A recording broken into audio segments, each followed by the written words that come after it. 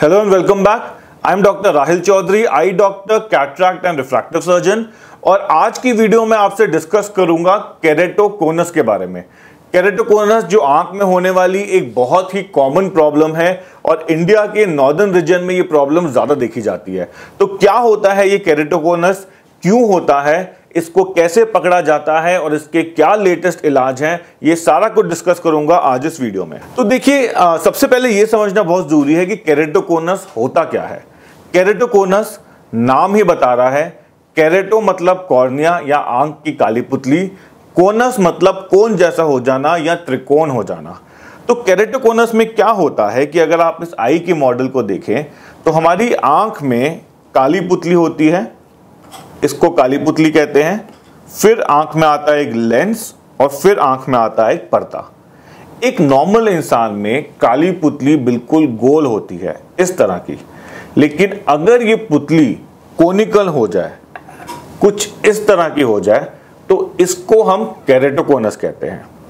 इस बीमारी को समझना इसलिए ज़रूरी है क्योंकि अगर इस बीमारी का टाइमली या अर्ली स्टेज में इलाज नहीं करा जाता तो आँखों में अंधकार होना या रोशनी जाना निश्चित है।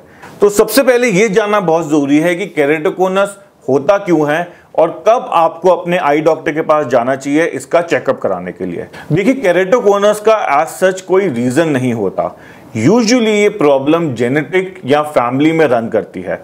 तो अगर आपके पेरेंट्स को आपके सिबलिंग्स को या ग्रैंडफादर को कभी कैरेटोकोनस की प्रॉब्लम रही हो तो आपको एक बारी अपने आई डॉक्टर के पास जाके इसका चेकअप ज़रूर कराना चाहिए। ये प्रॉब्लम यूजुअली अर्ली टीन्स या लेट ट्वेंटी में प्रेजेंट करती है। मतलब 12 से लेके 20 साल की उम्र में ये प्रेजेंट करती है, लेकिन ये बच्चों में भी पकड़ी जा सकती है। तो इस प्रॉब्लम को जितना जल्दी पकड़ा जाए, उतना जल्दी इसका इलाज हो सकता है उतना जल्दी आँखों की ट्रीटमेंट करी जा सकती है और नज़र को बचाया जा सकता है।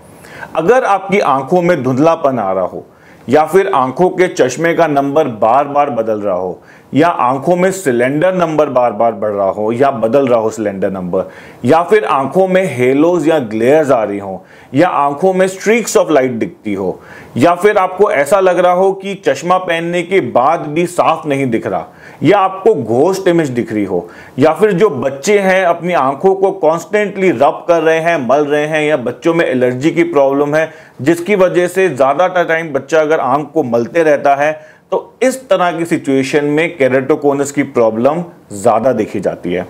तो अगर इस तरह की प्रॉब्लम आपको हो रही है तो आपको अपने आई डॉक्टर के पास जाना चाहिए। वहाँ पे आई डॉक्टर पहले आपका स्लिट लैम्प पे चेक करेगा। स्लिट लैम्प पे चेक करके अगर उसको शक होता है कि कैरेटोकोनस की प्रॉब्लम हो सकती है तो आपका एक स्पेशल टेस्ट कराएगा, जिसको कॉर्नियल टोपोग्राफी या फिर पेंटाकैम कहते हैं। इस टेस्ट में हम जो काली पुतली है उसकी मोटाई और उसकी स्टीपनेस को देखते हैं। और ये एक 100 परसेंट सटीक तरीका है आँखों में कैरेटोकोनस को डायग्नोस करने का। तो अगर आपकी आँख में कैरेटोकोनस की प्रॉब्लम डायग्नोस हो गई है तो घबराने की बात नहीं है। आजकल बहुत एडवांस ट्रीटमेंट्स अवेलेबल हैं, जो अगर टाइमली कर दिए जाए तो आँखों की रोशनी पूरी बचाई जा सकती है। सबसे पहले आपको यह जानना ज़रूरी है कि कैरेटोकोनस भी दो प्रकार का होता है। एक होता है जो होता है प्रोग्रेसिव मतलब वो बढ़े जा रहे, बढ़े जा रहे है और 10 से 20 साल में वो इतना बढ़ सकता है कि आँखों की रोशनी पर प्रभाव ला सकता है। और दूसरा होता है नॉन प्रोग्रेसिव जो अपनी जगह पर रुका हुआ है। देखिए कैरेटोकोनस की लेटेस्ट ट्रीटमेंट जो है, उसको हम कहते हैं सी थ्री आर या फिर सी एक्स एल जिसका फुल फॉर्म होता है corneal collagen cross linking C R में हम क्या करते हैं कि जो आपकी काली पुतली है, जो कमज़ोर होने के कारण कोन जैसी बनती जा रही है, उसको सी आर की मदद से टफनिंग कर देते हैं या स्टिफनिंग कर देते हैं या फिर उसको हार्ड कर देते हैं, ताकि वो अपनी जगह पर रुक जाए और आगे और कोन ना बने। जैसे आपने टफन ग्लास के बारे में सुना होगा कि शीशे को टफन करके स्ट्रांग बना दिया जाता है, वैसे ही सी थ्री आर में काली पुतली को स्टिफ कर दिया जाता है, जो अपनी जगह पर रुक जाए। आपको यह जानना बहुत ज़रूरी है कि सी थ्री आर कोनिकल पुतली को वापस गोल नहीं बनाता। वो कोनिकल पुतली को अपनी जगह पर रोक देता है, ताकि ये बीमारी जो है केरेटोकोनस की, ये और आगे ना बढ़े। एक बारी सी थ्री आर हो जाता है, उसके बाद हम या तो चश्मों से, या फिर कॉन्टैक्ट लेंस से, या फिर आईसीएल से आपके चश्मे का नंबर जो है वो हटा सकते हैं। तो सी थ्री आर जो है बेसिकली एक घंटे का प्रोसेस होता है। इसमें आपकी आँखों में एक स्पेशल तरह की ड्रॉप डाली जाती है, जिसका नाम राइबोफिलाविन ड्रॉप्स होता है, और उसके बाद आँखों पे यूवी लाइट को डाला जाता है। और यूवी लाइट के डलने से इस राइबोफिलाविन ड्रॉप के ऊपर आँखों की पुतली जो है, उसमें एक रिएक्शन होता है क्रॉस लिंकिंग रिएक्शन होता है, जिसकी वजह से पुतली हार्ड हो जाती है और कैरेटोकोनस की प्रॉब्लम वहीं रुक जाती है। नेक्स्ट जो ट्रीटमेंट होता है, उसको हम कहते हैं इंटैक्स इंटैक्स क्या होते हैं? एक स्पेशल तरह की रिंग होती है सेमी सर्कुलर रिंग होती है, जिसको हम इस कैरेटोकोनस कॉर्निया के अंदर इम्प्लांट कर देते हैं दोनों तरफ़। इंटैक्स क्या करते हैं कि क्योंकि ये रिंग्स कॉर्निया के अंदर चली जाती है तो ऊपर से ये कॉर्निया की फ्लैटनिंग करते हैं, जिसकी वजह से कॉर्निया नॉर्मल शेप जैसा हो जाता है और क्वेरेटोकोनस की प्रॉब्लम काफ़ी हद तक ठीक हो जाती है। कभी कभार अगर प्रॉब्लम ज़्यादा है तो सी थ्री आर पहले करा जाता है और उसके बाद इंटैक्स रिंग्स जो है, वो कॉर्निया में डाली जाती हैं।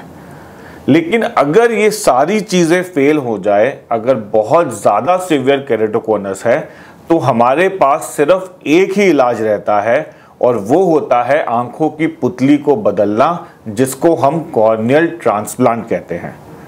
कैरेटोकोनस में कॉर्नियल ट्रांसप्लांट एक बहुत ही सक्सेसफुल प्रोसीजर है। ऑलमोस्ट 90 से 95 परसेंट इसका सक्सेस रेट रहता है।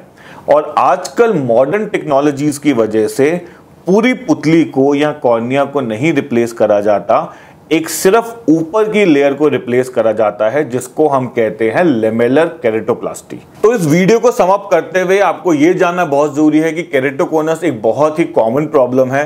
और अगर टाइमली इसका डायग्नोस और इलाज हो जाए तो आँखों की रोशनी पूरी बचाई जा सकती है। अगर बच्चे अपनी आँखों को ज़्यादा मले या बच्चों की आँखों में एलर्जी हो, या फिर आपके चश्मे का नंबर बार बार बदल रहा हो या चश्मा पहनने के बाद भी रोशनी साफ़ ना हो रही हो तो आपको अपने डॉक्टर के पास जाना चाहिए। कैरेटोकोनस का एक बार चेकअप कराना चाहिए, जो कॉर्नियल टोपोग्राफी से आपको बता सकते हैं आँख में कैरेटोकोनस है कि नहीं। कैरेटोकोनस की बहुत एडवांस ट्रीटमेंट्स आजकल अवेलेबल है। जिसमें सबसे पॉपुलर ट्रीटमेंट है सी थ्री आर और उसके बाद इंटैक्स या फिर कैरेटोप्लास्टी जिसमें कॉर्निया जो है, जो आँखों की पुतली है, उसको बदला जा सकता है। कैरेटोकोनस के बाद अगर आँखों में चश्मे का नंबर रह जाता है तो वो चश्मा पहन के या फिर स्पेशल तरह के कॉन्टैक्ट लेंस पहन के, जिसको R G P contact lens या स्क्लेरल कॉन्टैक्ट लेंस कहते हैं, या फिर आईसीएल से चश्मे का नंबर ठीक किया जा सकता है। तो अगर आपको इस तरह की प्रॉब्लम्स आ रही हैं तो अपने आँखों के डॉक्टर से ज़रूर मिलिए, अपने कैरेटोकोनस का चेकअप ज़रूर कराइए। अगर फैमिली में हिस्ट्री है कैरेटोकोनस की तो एक बार अपना चेकअप ज़रूर कराइए, ताकि अगर इस तरह की प्रॉब्लम हो तो उसको टाइमली डायग्नोज करा जा सके और टाइमली ट्रीट किया जा सके। तब तक के लिए thank you very much for watching this video and I Albi Vaxun.